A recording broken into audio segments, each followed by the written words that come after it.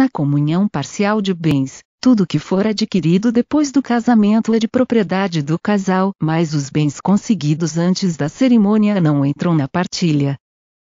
No regime de comunhão parcial de bens, as dívidas adquiridas em benefício do casal após o casamento, como empréstimo para a compra da casa ou mobília, devem ser divididas igualmente.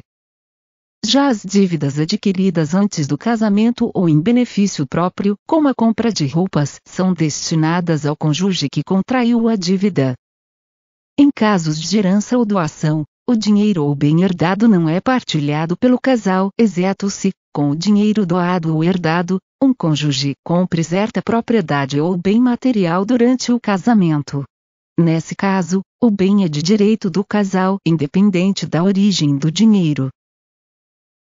Se gostou do vídeo, curta, compartilhe que seus amigos também podem gostar e inscreva-se no canal para ver outros vídeos.